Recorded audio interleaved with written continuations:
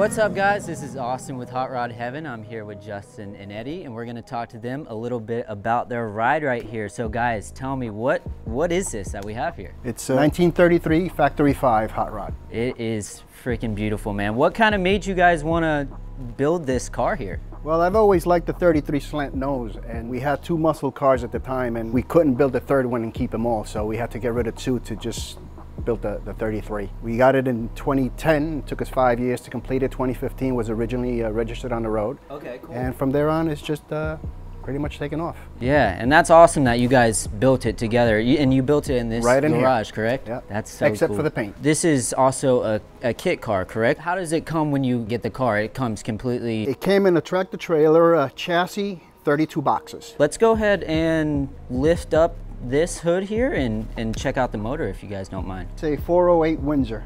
It's got an Eagle uh, uh, crank setup, AFR heads, and uh, Holley Snipe fuel injected. The turbos came about just for fun.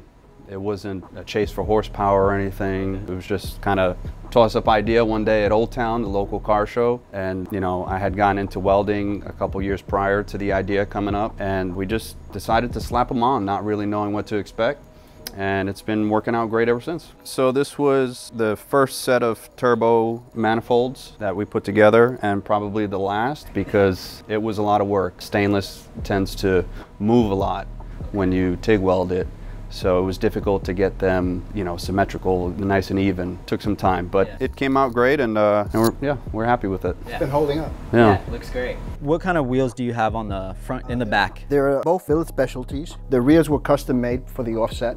The front is standard size. What about the the tires? What are what are the tires that you have running on the fronts and the backs? The fronts, the, the Continentals, the back we got Toyos, uh, like plastic tires basically. What's the size on the back though? It's a looks like a big meat tire. It's a 345, 45, 17. The Ford 9 inch, I believe that when, when we built the car originally, we're the only ones with the Ford 9 inch. Everybody uses the 8.8, but I think this is the first hot rod with a Ford 9 inch. And it's got three uh, 350 gears in the back. So let's go ahead and talk about the interior a little bit. What are the seats that you have in this here? So these seats actually came with the kit. They're just low back uh, bucket seats. And what kind of gauges do you have on there? Those are just analog odometer gauges. Tried to keep it old school. Yeah, it looks good. I really like it. And I love that you have a radio in here as well. Yeah. Even though you said you can't really hear it too much anymore though. No, we used to be able to hear it when the car had a full exhaust, Yeah. but uh, those days are behind us, unfortunately. Exactly. I feel that. Yeah, and you got the Hurst shifter on there. What about the steering wheel that you have? What did that come with the kit as well or No, no, that didn't come with the kit. We, Okay. we added that. But the horn works. Does it really? That's Yeah. funny. Okay, man. Well, I think that's that pretty much covers it. I say we go ahead and, and get it on the road and take it for a cruise. What do you think? Yeah, sounds right, good. let's do it.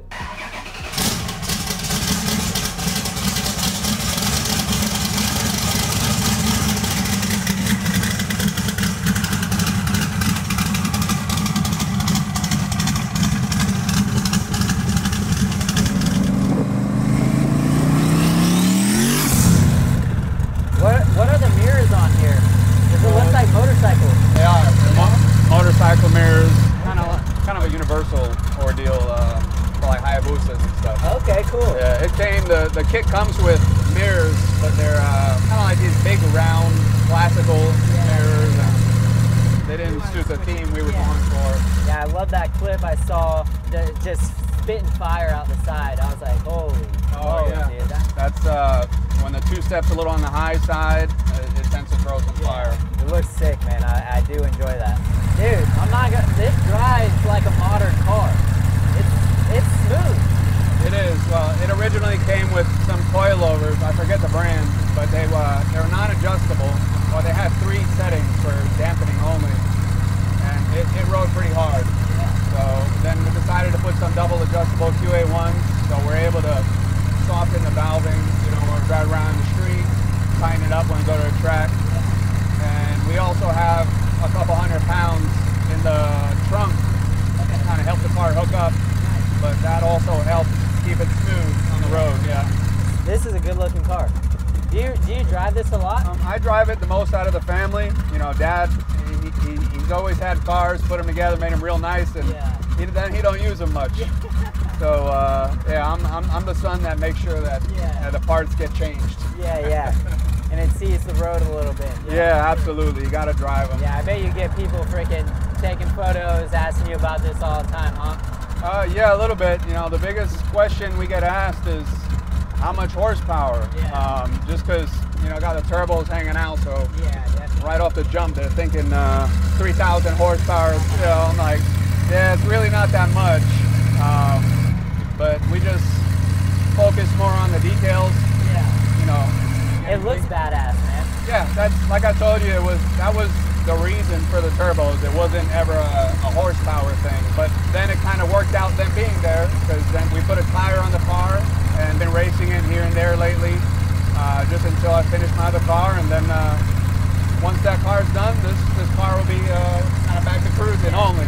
You know, the tires that we have on the car now, you know, they're they're Toyo drag radials, but really they're not much of a drag radial. It's not, in our opinion at least, it's, it's not like a Mickey Thompson drag radial or anything like that. And even though they're a big size, you know, 345s, they still, uh, you'll see, they still don't hook up too great. You know, this car really depends on a on a soft bias ply slick.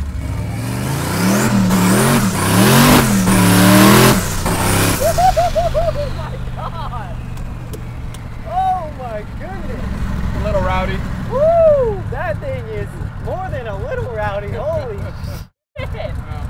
Wow, dude. You're driving that thing too. Holy You got moly. to, you know, Especially stick, with the stick tire. shift. Oh, yeah, and the stick shift. Holy, holy, bro.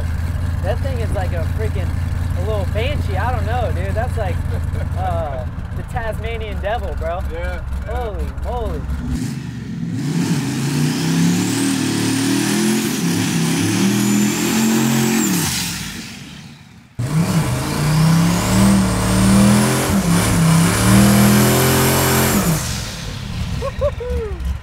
Ooh, that smells good too, man.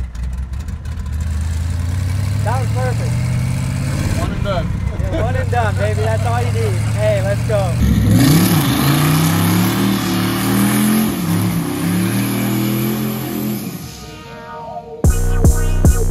That does it for this video, guys. If you like this, please give it a thumbs up. And if you want to see more content like this with more hot rods, make sure that you subscribe to this channel. And I'll see you next time.